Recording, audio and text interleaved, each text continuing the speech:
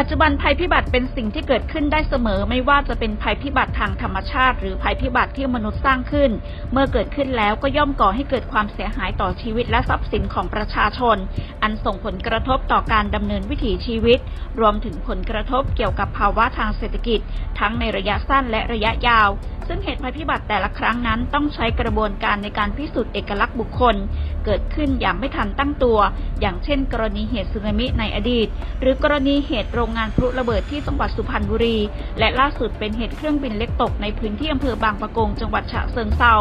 โดยแต่ละเหตุการณ์จะมีผู้เสียชีวิตจำนวนมาก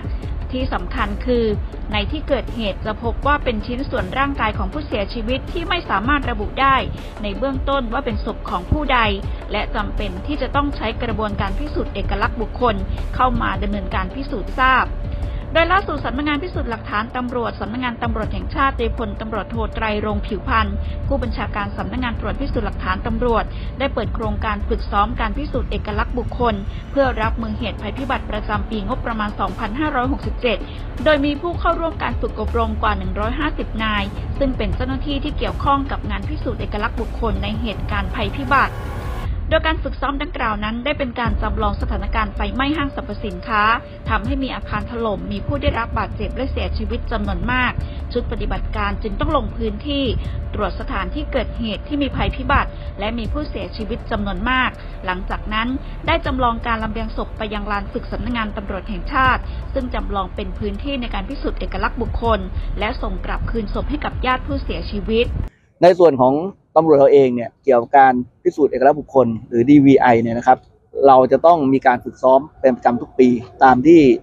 กำหนดไว้ในแผน ซึ่งการฝึกซ้อมเนี่ยแม้ว่าเรามีความปรารถนานะครับ ว่าไม่อยากให้เกิดเหตุภัยพิบัติ ซึ่งจะต้องมีผู้เสียชีวิตจำนวนมาก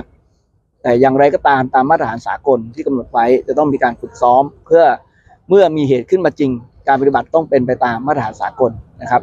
ซึ่งเราก็จะพบว่า ก็มีเหตุน่าเศร้าอย่างนี้เกิดขึ้นบ่อยครั้ง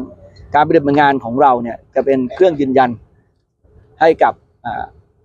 นานาชาตินะครับ ตลอดจนถึงผู้ที่เกี่ยวข้องในเหตุการณ์ ผู้สูญเสีย ครอบครัวผู้สูญเสียได้มั่นใจ ในการปฏิบัติงานของเจ้าที่ตำรวจ และหน่วยราชการหน่วยงานภาคเอกชนที่เกี่ยวข้องว่า ในการพิสูจน์เอกลักษณ์บุคคลเราเป็นไปตามมาตรฐานสากลนะครับ อย่างไรก็ตามพลตำรวจโทไตรรงกล่าวย้ำว่าการฝึกซ้อมการพิสูจน์เอกลักษณ์บุคคล เพื่อรับมือเหตุภัยพิบัติจำเป็นที่จะต้องดำเนินการอย่างยิ่ง ในการเสริมสร้างประสบการณ์ ทบทวนขั้นตอนการฝึกปฏิบัติให้กับเจ้าหน้าที่ รวมถึงเป็นการบูรณาการระหว่างหน่วยงานที่เกี่ยวข้อง ซึ่งหากมีภัยพิบัติเกิดขึ้น ก็จะสามารถปฏิบัติหน้าที่ และประสานการปฏิบัติได้อย่างมีประสิทธิภาพ เป็นที่ยอมรับตามมาตรฐานสากล และเป็นไปตามแผนป้องกันและบรรเทาสาธารณภัย